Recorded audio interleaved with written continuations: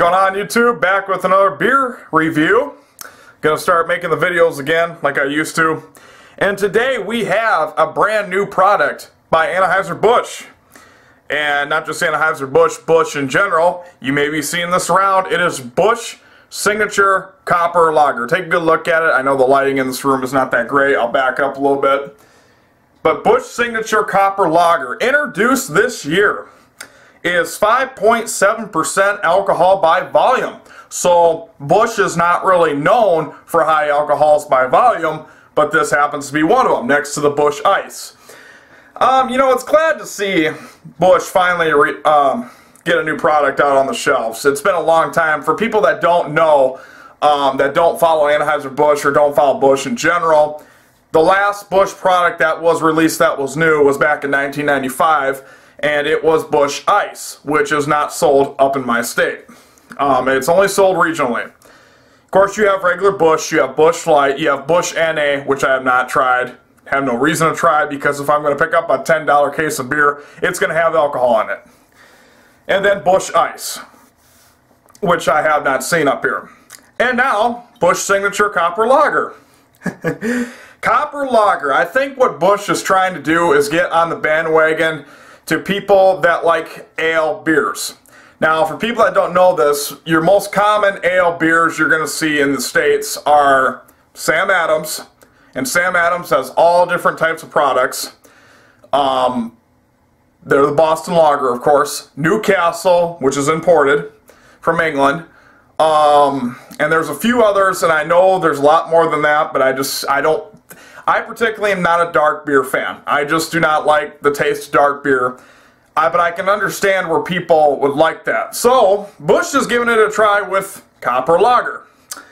Alright, of course, it says here, proudly brewed with grains from America's heartland and toasted malt for a smooth signature taste.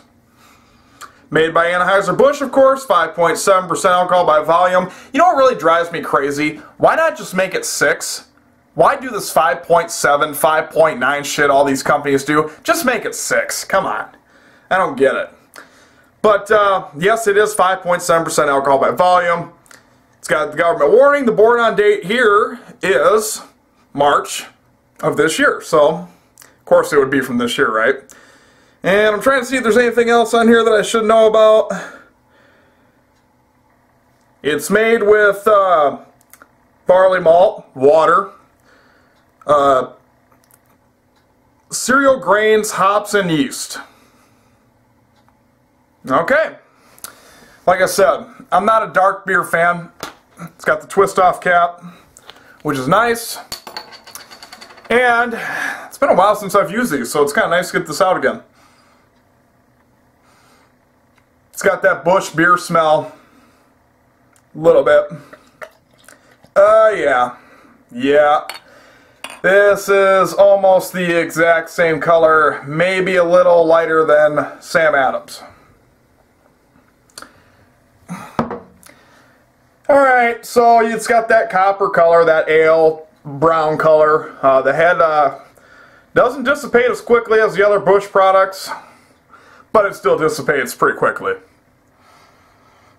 And it's got that nasty fucking ale smell to it for those, if you like ale beer, I'm sorry, but it's just something, I like I said, if, if I don't like this, I'm not really going to hold anything against Busch. I just figured because Busch is still my probably my all-time favorite beer next to Budweiser, but yeah, I don't know, man. Price-wise, not too cheap. And that's uh, out of character for Busch because Busch is really known for their cheap prices. Not so with this. Of course, I guess at 5.7% alcohol. And it's a copper lager, pretty much an ale beer. They're, none of them ale beers are cheap. Okay, so like I said, it's got you really it kind of doesn't have that Busch smell that you would typically get out of Busch Light or regular Busch. Maybe maybe a hint of it, but it's more ale or copper, however the hell you want to say it. But I'm calling it ale because that's pretty much what it is. All right, let's go with the taste test.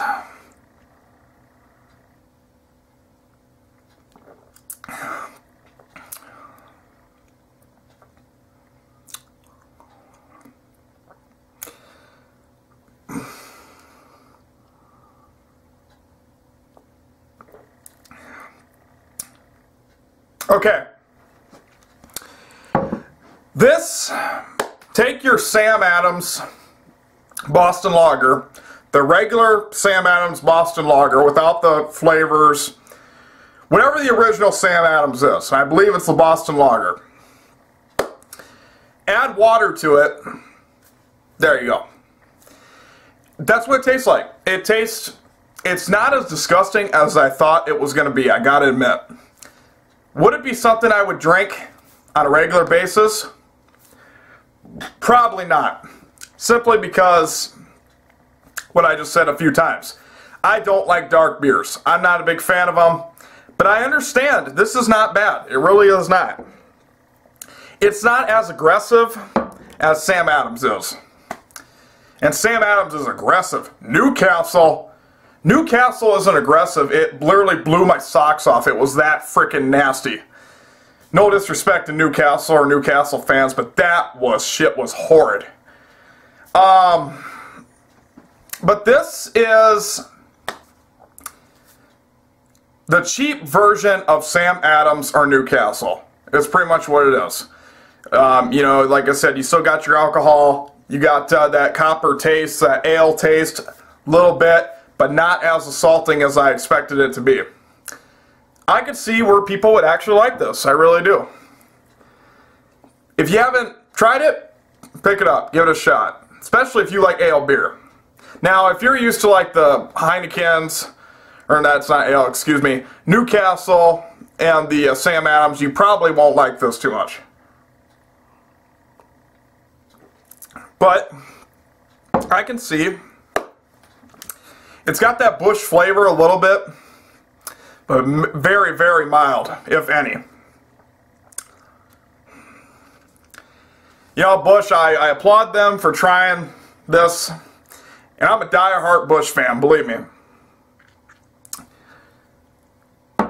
But if you want to go with something that's really a copper lager or an ale beer, I would go with either Sam Adams or Newcastle.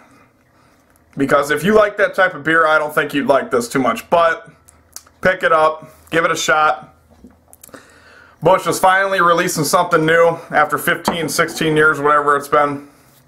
So, the overall review for Busch Signature Copper Lager, I'm going to give it a C. And that's pretty low for me when it comes to a Busch product, but it's just simply because I am not a fan of dark beer. I just do not like the taste of it. I like the fact that Busch uses brown bottles. Of course, that protects it from the light, the skunkiness. Most beers now are getting the hint of that, most of them do, except for like Corona or something like that. But most beer bottles you see are brown. So guys, Busch for Copper Lager, pick it up, give it a shot. Um, I don't know if you guys have seen it. They have the canned version of this too.